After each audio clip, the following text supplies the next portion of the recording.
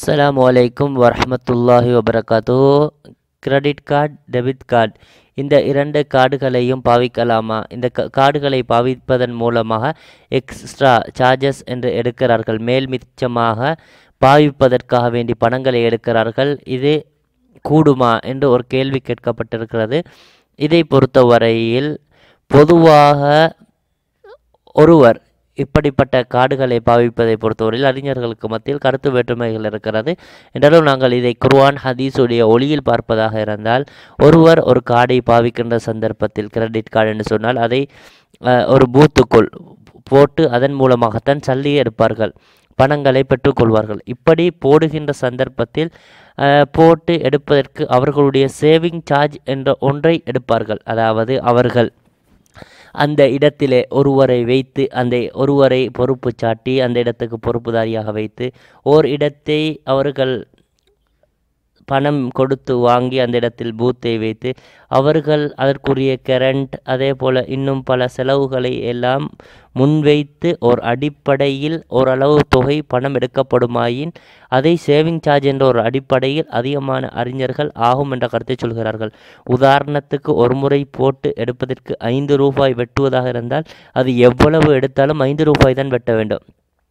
ஒருவர் ஆயிரம் ரூபாய் எடுத்ததற்கு ஐந்து ரூபாயும் ஒருவர் ஐம்பதாயிரம் எடுத்ததற்கு ஆயிரம் ரூபாயும் வெட்டுவதாக இருந்தால் அது இஸ்லாத்தின் பார்வையில் கூடாது.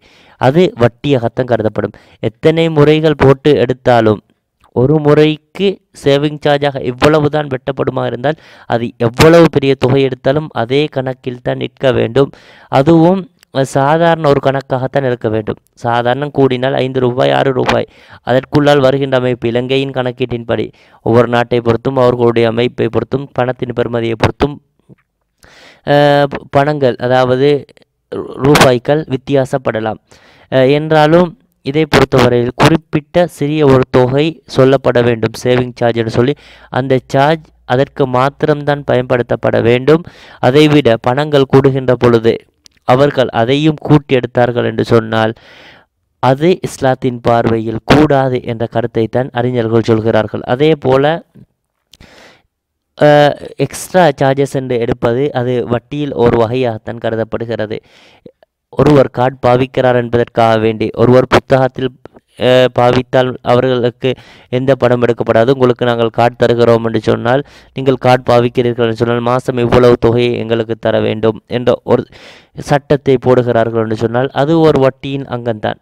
அது வட்டி தொடர்புபட்டதாகத்தான் இருக்கிறது. இதையும் அறிஞர்கள் தடை செய்கிறார்கள். இந்த கார்ட் மு முறையை பொறுத்தவரையில் இது நபி அவர்களுடைய காலத்தில் நேரடியாக இருக்கவில்லை.